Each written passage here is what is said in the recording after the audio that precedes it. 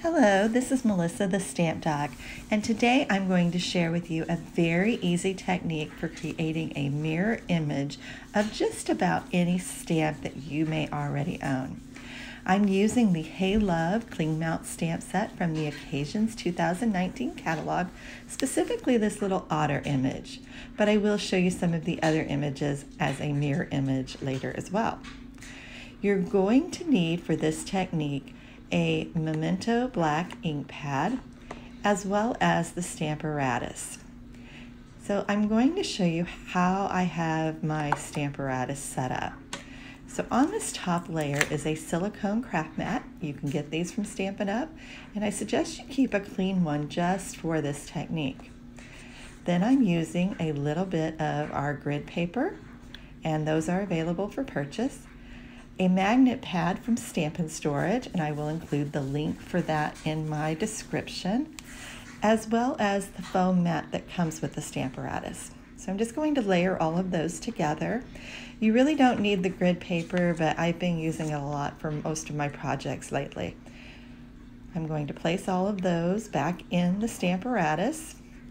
And because this is a cling mount stamp, I'm going to show you that you'll need to pick it up very carefully. Just kind of stick your finger underneath there. They're very sticky, um, which means they're great for adhering to the stamp Stamparatus or your acrylic blocks.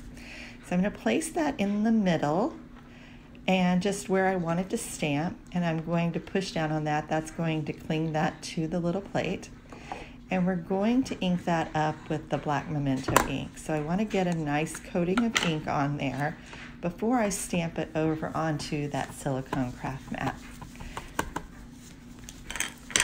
So we're just going to flip that over, push it down, and you'll see that that image transfers right over to that.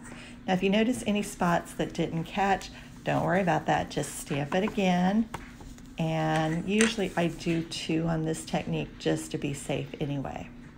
So I'm going to get a nice impression there. Then I need to take a piece of Whisper White cardstock. I'm going to place it over the image and I'm just going to gently rub over that to transfer the image. So you want to just make sure that you hit all those edges and that that's being stamped on there. And you'll notice you have a perfectly transferred little otter. So I do keep a baby wipe nearby so that I can clean my mat quickly and also my stamp and that makes this technique go even smoother.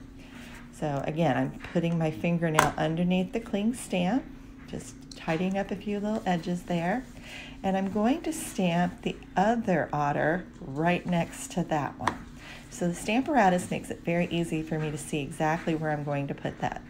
So I just line that up where I want it Again, the rubber side is down. Then we're going to flip that over so it catches that cling again. And we're going to ink that up. And this time we generally only need to do it once unless we miss a spot. So we're just going to ink it up really good, flip that over, give it a nice little push down. And then we are going to have our two little otters swimming together. Isn't that sweet? Now there's a lot of other little critters from that Hey Love stamp set. So I wanted to try doing the mirror image stamping with some of those other ones. These are a lot of fun. And I cut all of these out with the rectangle stitch shape uh, stitch framelits. There's the little beavers. I think that's what they are. Got our little birds.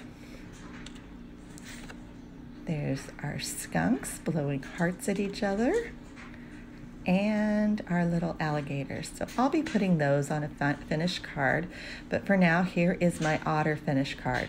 So in addition on this, I used the Stampin' Blends to color in the otters, Soft Suede, Balmy Blue, and Flirty Flamingo. I used the Be Mine stitched framelits dies. That's all the hearts that you see on there. And then I use the All My Love Designer Series paper as the background.